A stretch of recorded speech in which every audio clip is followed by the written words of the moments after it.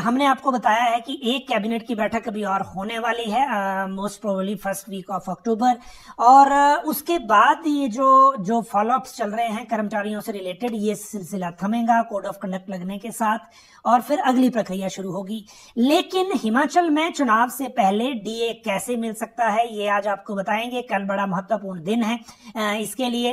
और कैसे राजप्रतिनिधि कर्मचारी महासंघ की ओर से डीए को लेकर अब जो सरकार से बात रखी जा रही है। अब दो ऑप्शन है। या तो हम डीए की बात करें या एरियर की, दूसरी किस्त की बात करें। अभी हालाँकि पहली भी खाते में नहीं आई है। लेकिन इन सब चीज़ों के बीच में आज आपको बताएँगे कि एरी डीए को लेकर सिचुएशन क्या है और विधानसभा चुनाव से पहले डीए की किस्त मिलने की संभावना क्यों बढ़ गई है। पेयर विजन के रिव्यू में क्या मिला वो भी आपको बताएँगे, क्योंकि ये जो रिव्यू की रिपोर्ट है, ये सबमिट हो गई है प्रबोध सक्सेना को ब्रांच ने कर दी है। ये भी राजपत्रित कर्मचारी महासंघ के माध्यम से जो ज्ञापन गए थे कैटेगरीज के, कुछ कैटेगरीज के, और एग्जैक्ट अगर मैं फिगर बताऊँ तो 22 कैटेगरी के ज्ञापन ये थे जिनको स्क्रूटनी के बाद क्योंकि 40 के आसपास ज्ञापन मिले थे, उनमें से 22 आगे भेजे थे महासंघ ने। बाकी जो लेफ़्ट आउट वाले मामले थे वो अलग थे और उनको स्क्रूटनाइज कर लिया गया था। इसमें फाइनल रिपोर्ट में क्या है वो भी आज आपको बताएँगे।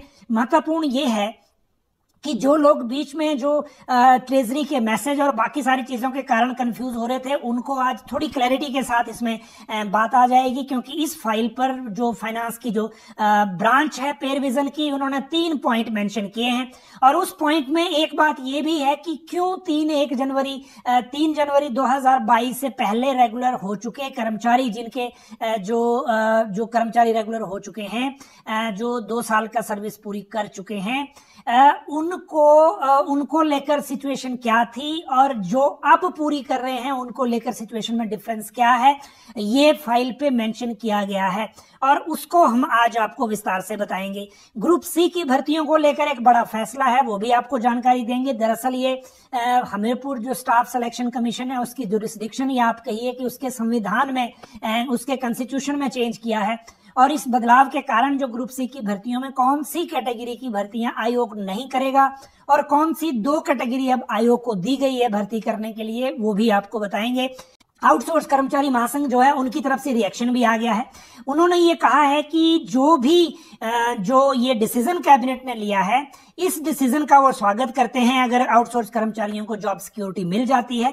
लेकिन जो अगर जो आचार संहिता लागू होने से पहले पहले सरकार इसको लागू करे डिसीज़न को, और उसके बाद ही इसका फ़ायदा कर्मचारियों को मिल पाएगा। जो जिनको ऐसा लग रहा है कि जिनको सरकार या जो विभाग हैं जिनके यहाँ ऐसा लग रहा है कि प्रोजेक्ट पूरा हो रहा है, वो उनको निकाल सकते हैं।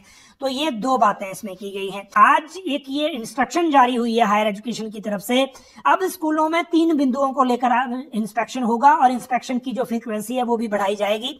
और जो बिंदु हैं इसमें गुणात्मक शिक्षा को लेकर स्कूल में क्या किया जा रहा है उसकी जाँच की जाएगी। शिक्षक किस तरह से स्कूलों में बच्चों को पढ़ा रहे हैं वो बात की जाएगी। और अनुशासन और सब, जो सिलेबस है वो किस तरह से कवर किया जा रहा है, ये तीसरी बात होगी।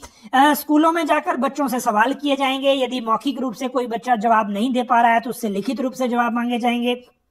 और विभाग की ओर से मई महीने में भी इसी तरह के आदेश जारी किए गए थे, लेकिन उनको सर्कुलर स्कूलों को भेजा गया था। उसके बावजूद इसमें इंप्रूवमेंट नहीं हुई, लेकिन अब ये इंप्रूवमेंट करने के लिए अलग से फॉर्मेट बना के भेजा गया है और उसी फॉर्मेट के हिसाब से चीज़ें आगे तय होंगी। मैं आउटसोर्स की बात कर रहा था। आउटसोर्स में कंप्यूटर शिक्षकों का भी एक फीडबैक बीच में आया है, क्योंकि ये भी तेरह के आसपास है। ये भी इंतज़ार इसका कर रहे थे। हालाँकि ये पहले से ही डिमांड कर रहे थे कि इस पॉलिसी के साथ हमें कनेक्ट ना करें, क्योंकि इनको चौबीस साल साल के आसपास हो गया सेवाएँ देते हुए। अब इन्होंने कहा कि कंपनियाँ चाहे आप कोई कितनी बना लो, लेकिन रहेंगे तो आउटसोर्स में ही तो इसलिए इन्हें ये मंजूर नहीं है। ये मर्जर को लेकर डिमांड कर रहे हैं। और मर्जर की एकमात्र डिमांड जो है, उसी को जो ये आगे पूरा होना चाहते हैं। अब अगली बात करते हैं, ग्रुप सी की भर्तियों में बड़ा फैसला जो हुआ है उसकी। और ग्रुप सी की भर्तियों को लेकर जो राज्य सरकार ने हमीरपुर कर्मचारी चयन आयोग, जो स्टाफ सिलेक्शन कमीशन हमीरपुर है, उसके कंस्टिट्यूशन में बदलाव किया है। और संविधान में बदलाव किया है। पैरा दो में एक पॉइंट ऐड किया गया है और उस पॉइंट के बाद अब हुआ क्या है कि दो कैटेगरी जो है, उनकी जो भर्ती परीक्षाएँ हैं, वो हमीरपुर कर्मचारी चयन आयोग को शिफ्ट हो गई हैं और ये दोनों हैं पटवारी और स्टाफ नर्स ये दोनों भर्तियाँ अब हमीरपुर कर्मचारी चयन आयोग करेगा। लेकिन जिन 11 भर्तियों को कैटेगरी को कर्मचारी चयन आयोग नहीं करेगा, उनमें रखा गया है drivers of all departments, constable of police jail विभाग से वार्डर्स, फार्मासिस्ट आयुष के भी हैं, हेल्थ के भी हैं, एनिमल हस्बेंड्री के भी हैं, मेल हेल्थ वर्कर हैं हेल्थ के, दाई हैं हेल्थ की, लेबोरेटरी टेक्नीशियन हैं आयुर्वेद के, फॉरेस्ट गार्ड हैं फॉरेस्ट के, और फायरमैन हैं फायर सर्विसेज़ के, और कंपाउंडर्स हैं हेल्थ के। तो ये जो कैटेगरीज हैं, ये पब्लिक सर्विस जो स्टाफ सर्विस कमीशन है, उसकी जो दायरा है, प्रीव्यू है, उससे बाहर रखे गए हैं।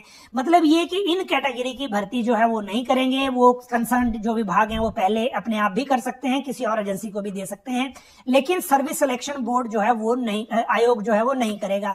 मतलब ये हुआ कि पहले क्या होता था कि स्टाफ सिलेक्शन कमीशन को कुछ विभाग रिक्वेजिशन भेज देते थे और जो उनकी उसमें दायरे में नहीं होते थे, वो भी रिक्वेजिशन भेज देते थे ताकि वो उनकी भर्तियाँ कर लें।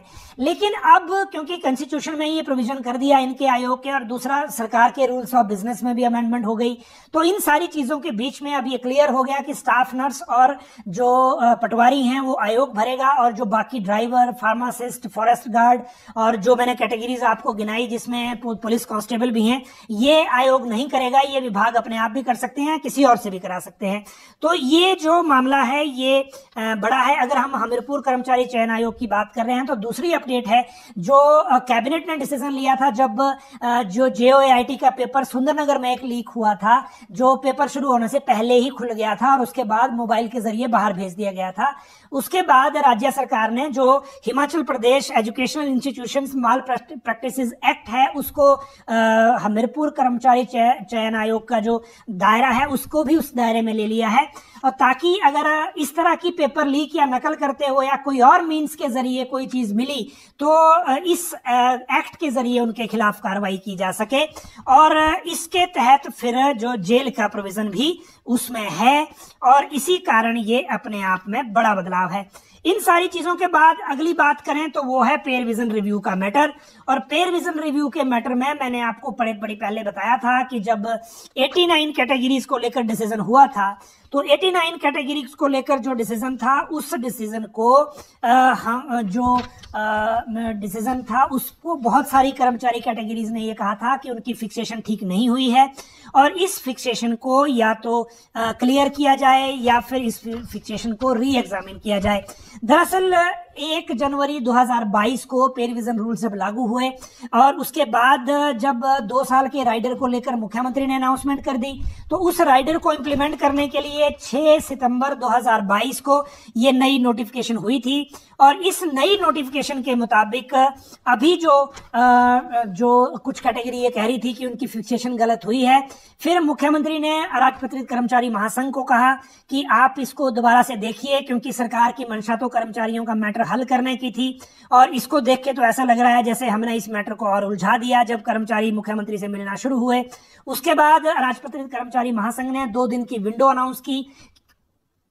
कि जो जो कर्मचारी अपना ज्ञापन देना चाहते हैं, वो सर, जो महासंघ को अपना ज्ञापन दे सकें। और इस ज्ञापन को लेने को लेकर जब दो दिन की विंडो दी गई तो पूरी जो जो टोटल अवधि के दौरान जितने ज्ञापन आए, उन ज्ञापन जो है टोटल जो संख्या है, वो 40 के आसपास पहुँच गई थी। इन ज्ञापनों को लेने के बाद राजपत्रित कर्मचारी महासंघ ने इनकी स्क्रूटनी अपने स्तर पर की और स्क्रूटनी अपने स्तर पर करने के बाद फिर 40 ज्ञापनों में से 22 कर्मचारी कैटेगरीज के ज्ञापन जो हैं, वो फाइनेंस डिपार्टमेंट की जो सेक्रेटरी हैं एसीएस फाइनेंस हैं उनको दिए गए, उनको भेजे गए। और उन्होंने फिर पे रिविजन की जो अपनी ब्रांच है, उनको ये मैटर फ़ाइल रेफर किया। और जब ये फ़ाइल वहाँ गई, और उसके बाद इन्होंने इसको रिव्यू करना शुरू किया, क्योंकि मसला ये था कि जो भी पे रिविजन हुआ है उसको एक बार री एग्जामिन कर लिया जाए। अब ये जो रिव्यू रिपोर्ट है, ये सबमिट हो गई है एसीएस फाइनेंस प्रबोध सक्सेना को। और उसमें क्या क्या लिखा गया है, वो हम आपको अभी बता रहे हैं, ताकि आपको ये आइडिया हो जाए कि उसमें जो डीडीओज और ट्रेजरी के बीच में कुछ मैसेज चल रहे थे उन मैसेज में कितनी सच्चाई थी, और अभी जो ये रिव्यू हो रहा है, इसमें आगे होने क्या वाला है। फाइनेंस डिपार्टमेंट ने लिखा है कि तीन एक 2022 के बाद अब आप देखिए, तीन जनवरी 2022 के बाद दो साल रेगुलर पूरे कर रहे हैं जो कर्मचारी। उन पर ही 6 सितंबर 2022 को जारी नोटिफिकेशन लागू होगी। मतलब ये हुआ कि 3 जनवरी 2022 के बाद जिन्होंने दो साल रेगुलर पूरे किए उनको ही लेकर ही जो है वो ये नोटिफिकेशन जारी होगी नोटिफिकेशन लागू होगी जो 6 सितंबर 2022 की है। जो 3 जनवरी 2012 से 2022 से पहले दो साल पूरे कर चुके हैं रेगुलर हुए हुए उनको ये लागू नहीं होगी और उनको लेकर व्यवस्था हम आगे बताएँगे उसमें क्या है। और ये केवल उनके लिए है जो तीन जनवरी 2022 के बाद दो साल पूरा कर रहे हैं, चाहे वो एक दिन बाद कर रहे हो, तीन दिन बाद कर रहे हो, तीन हफ़्ते बाद कर रहे हो या तीन महीने बाद कर रहे हो। ये उनके लिए है जो 89 कैटेगरीज में जिनको हायर ग्रेड पे का लाभ दिया गया है। ये पहली बात हो गई। अब इसमें दूसरी बात यह है इस पूरे मैटर में कि जो सेकेंड पॉइंट है वो पॉइंट ये है कि इससे पहले जो दो साल पूरा कर चुके थे, तीन जनवरी 2022 से पहले उनको ऑलरेडी रिवाइज्ड पे रूल्स जो तीन जनवरी 2022 को लागू हुए हैं के तहत संरक्षण दिया जा चुका है। मैं वर्ड टू वर्ड पढ़ रहा हूँ अभी। आ, आप इसकी इंटरप्रिटेशन अपने ढंग से सोच सकते हैं समझ सकते हैं। और साथ में ये कहा गया है कि उनको ऑप्शन की फैसिलिटी पहले दी थी और जो वेतन निर्धारित भी उसी ढंग से कर दिया गया है। उसको रीओपन करने का कोई ऑप्शन अभी नहीं है जो छह सितंबर 2022 को नोटिफिकेशन हुई है इसके अनुसार। जैसा कि बहुत सारे कर्मचारी ये कह रहे थे कि हमने 15 परसेंट का ऑप्ट किया है तो हमें 15 परसेंट के हिसाब से जो सेकंड उसका ऑप्शन है वो दिया जाए वहाँ पर। तो वो अभी उसको रीओपन करने का कोई प्रोविज़न नहीं है, ये भी फ़ाइल में कहा गया है। दूसरी बात ये कही गई है कि इसकी जो इसकी जो ऑप्शन की फैसिलिटी नहीं है, जो जो अभी सेकंड वाले भी जो दो साल पूरा कर रहे हैं तीन जनवरी 2022 के बाद उनको भी ऑप्शन ऑप्ट करने की फैसिलिटी नहीं है इनमें, इस नोटिफिकेशन में, क्योंकि उनको सिर्फ़ जो पे मैट फॉर्मेट है, उसकी स्टेज ही लगेगी ऑप्शन के हिसाब से कैलकुलेशन नहीं होगी 2.25 के हिसाब से जैसे पहले हो चुकी है। फाइनेंस का कहना यह है कि जब हमने पहले नोटिफिकेशन कर दी थी, जो दो साल जिनको लागू होना हो गए थे उनको लेकर इशू यह है कि उनकी जो फिक्सेशन जिस तरह से कर दी गई है, उसी तरह से जो सिर्फ़ पे मैट्रिक्स की स्टेज के हिसाब से जो तीन जनवरी 2022 के बाद रेगुलर हो रहे हैं, उनको लेकर भी उसी तरह से जो स्टेज है वही लागू होगी। उनको ऑप्शन कैलकुलेशन के लिए या फिर उनको अपने आप ऑप्शन चुनने के लिए वो फैसिलिटी नहीं मिलेगी। ये पहले से इसमें क्लियर था। दूसरी बात इसमें यह है कि पहले वालों के लिए जो 2.25 और 2.59 जो दो ऑप्शन पहले से दी गई थी, वो वो ऑप्शन उस टाइम आने के बाद वो क्लोज हो चुकी है और यही फॉर्मूला इस बार भी लगाया गया है ताकि दोनों में पैरिटी रहे। इसके बाद अगली जो बात है इसमें कि इसी स्टेज जो कैटेगरी की बात बीच में हो रही थी कि जो कुछ कैटेगरीज को फ़ायदा नहीं हुआ है, कुछ को ज़्यादा फ़ायदा हो गया है, वो विश्लेषण भी कंप्लीट हो गया है, एक तरह से वो रिव्यू भी कंप्लीट हो गया है। और उस रिव्यू के बाद वित्त विभाग ने ये कहा है उसमें कि जैसे कि राजपत्रित कर्मचारी महासंघ ने कहा है कि जिन कर्मचारी, कहा, डिमांड की थी कि जिन कर्मचारी कैटेगरीज को लग रहा है कि उनको कम फ़ायदा हुआ है या उनको लगभग ज़ीरो फ़ायदा हुआ है तो उनके लिए कोई कंपनसेशन या इंक्रीमेंट जैसा कुछ बीच में क्या कोई फॉर्मूला हो सकता है कि नहीं तो उसके लिए फाइनेंस फाइनेंस ने इनकार किया है कि पे कमीशन के मामलों में ना कंपनसेशन का कोई इशू होता है, ना कोई इंक्रीमेंट का होता है, वो भी बिल्कुल वो ऑप्शन अभी इसमें बिल्कुल नहीं है।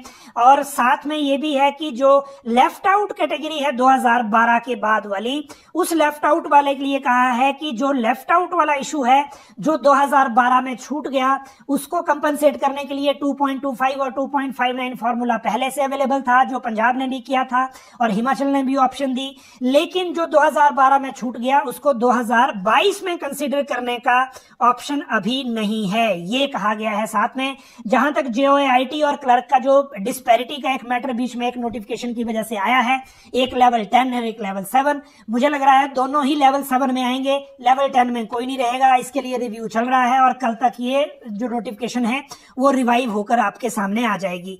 तो ये हो गई दूसरी बात।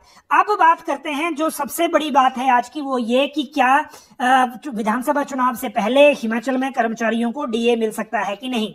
ये बात हम अभी आपको टेंटेटिव शेड्यूल से कह रहे हैं और ज़्यादा बीच में गैप नहीं है। कल मुझे लगता है आपको अगर सब कुछ ठीक रहा और कर्मचारियों को लेकर अगर मुख्यमंत्री भी उदार रहे तो कल डीए की अनाउंसमेंट हो सकती है। तीन फ़ीसदी डीए की देनदारी क्योंकि ज़्यादा नहीं है, मुझे लगता है साढ़े तीन सौ करोड़ के आसपास की बनेगी ये। और, ये जो है ये बीच में निकाली जा सकती है। और इसीलिए कल मुख्यमंत्री की अनाउंसमेंट पे नज़र रहेगी सबकी।